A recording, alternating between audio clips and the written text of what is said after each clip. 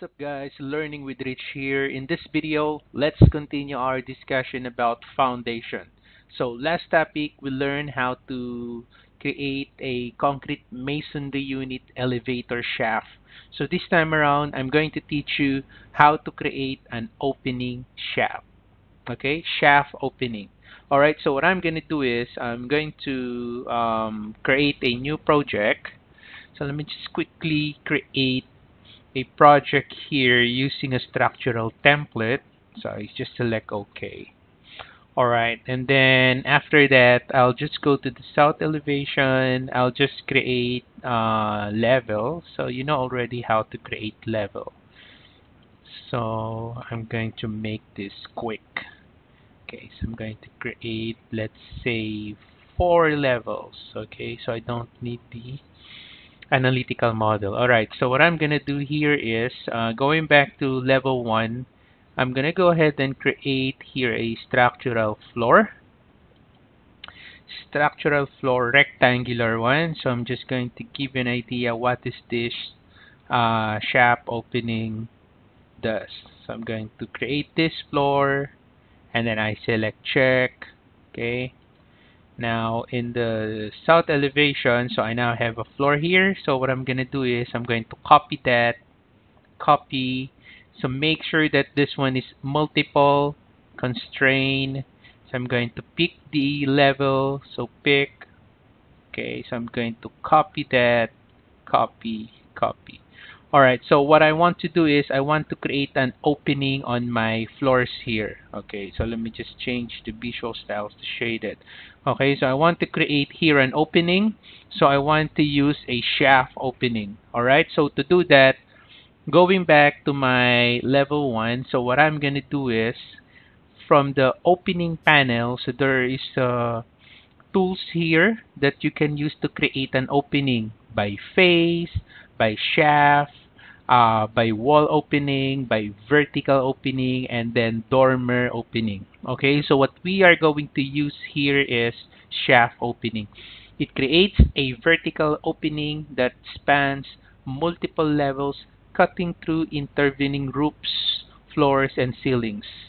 Okay, so we typically sketch the shaft on a host element such as floor, and then you can move the shaft. So as you can see there on the image, so that is the shaft opening. Alright, so I'm going to select the shaft here. So click that and then from the model create shaft opening sketch contextual tab so you have two uh, option here so you need to create the boundary and then you also need to create the symbolic line if you want alright so what I'm gonna do is I'm just going to quickly create a rectangle here so that's the shaft opening that I want for example.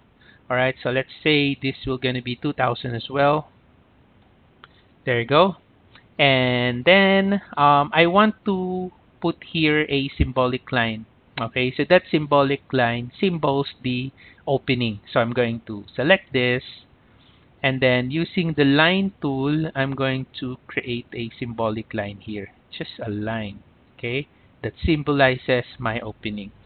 Alright so on my uh, properties here for the property of my shaft opening so the base constraint here is level 1 and I do not want to have a base offset here so I'm going to make that 0 because I do not want my level 1 to have an opening. So let's say I only want the opening from levels 2 until level 4 so that's why on the top constraint here so I'm going to change this up to level 4 there you go. Anyway, you can still change that later on. So once you create the shaft opening. Alright, so I'm now going to select here, finish, edit mode. So let's select that one. And there you have it. So there's your shaft opening. Mm, I think it would be better to create a line here. Square line. Okay, so I'm going to select again the shaft opening. And then I'll select sketch here, edit sketch to go back to the shaft opening editor. So I'm going to select symbolic line and then I'll be using rectangle here to create the boundary for my symbolic line. There you go. And then let's uh, finish. Oops, what's this? So there is a line overlapping line. Okay, oh, I think it's because of the... Okay, so we don't need this. Hmm. I think we have no other way to... Okay, so I'll just create a line, uh, pick line here. I'm gonna offset that by 1. Okay, just to have a thickness. Oh, how about 10?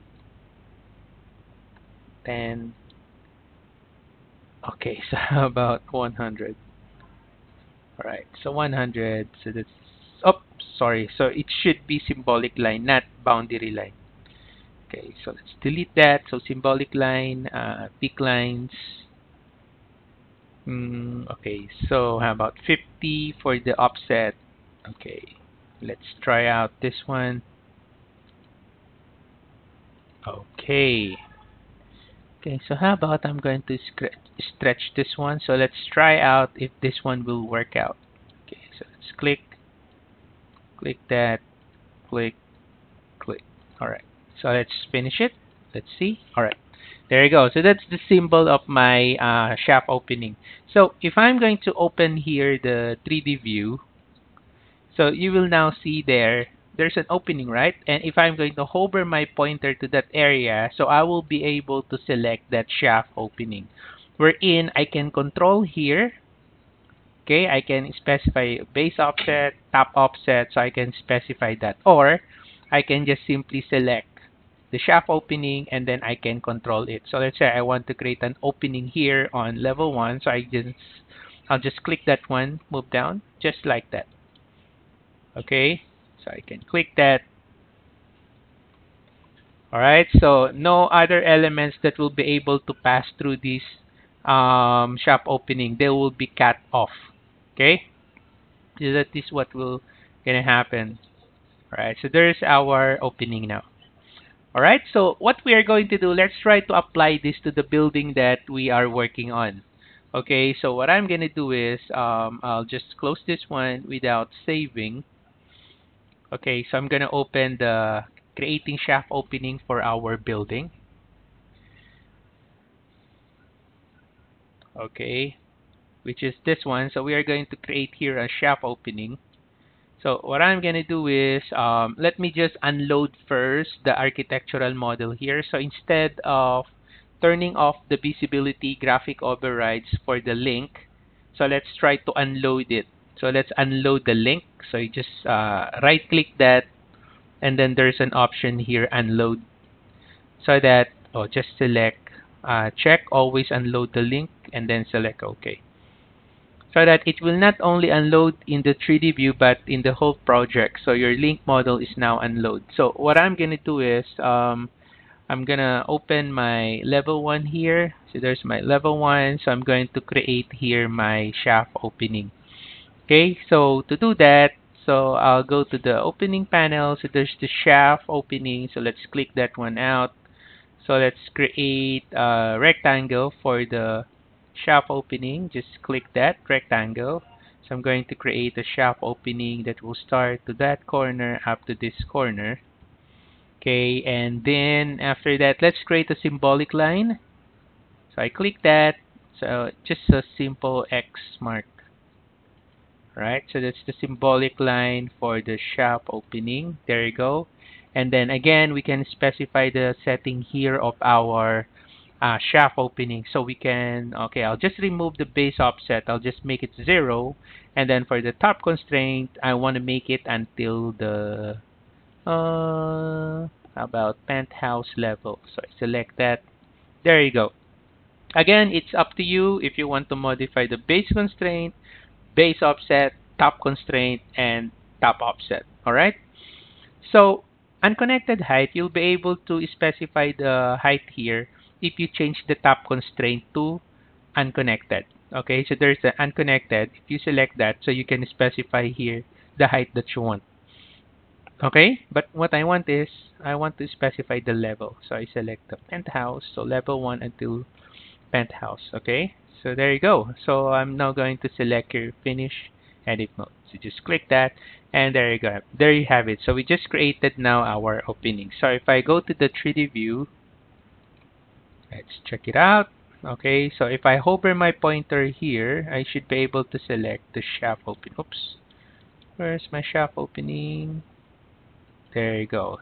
There's the shaft opening. See? Shaft opening. Or if you're having a difficulty selecting your shaft opening, one technique that I can teach you is that you can use like selection like this, crossing selection like that from right to left. And then you can use the filter. So there's a filter here. So just click that one and then you will be able to see here the category that you have selected including the shaft opening. So I'm going to select check none and then just select the shaft openings and then select OK. There you go. So you just selected the shaft opening. Alright so if you want to load back again the architectural model so what you can do is just right click and then reload from then select the architectural model double click and then it will now be loaded. Okay right? Okay so there you go so we now have an opening here on our uh, floor okay so basically that's how you create your uh, shaft opening it's very simple the tool is here on the opening panel. So there's the shaft opening. So hopefully you learned something from uh, this video guys. If you have any comments, questions, or suggestions, you can put it on the comment section below and I'll get back to you as soon as I can. Thank you for watching. Have a nice day.